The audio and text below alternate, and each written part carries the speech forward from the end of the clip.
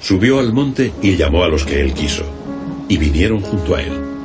Instituyó a doce para que estuvieran con él y para enviarlos a predicar, con poder de expulsar los demonios. Y puso a Simón el nombre de Pedro, a Santiago el de Cebedeo,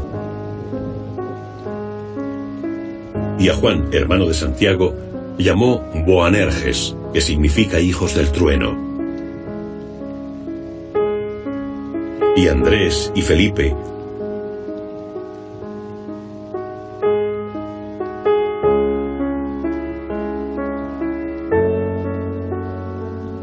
a Bartolomé y Mateo,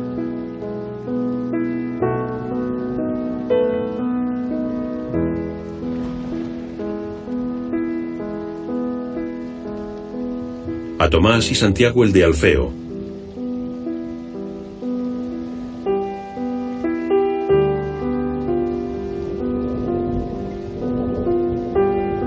Tadeo y Simón Cananeo,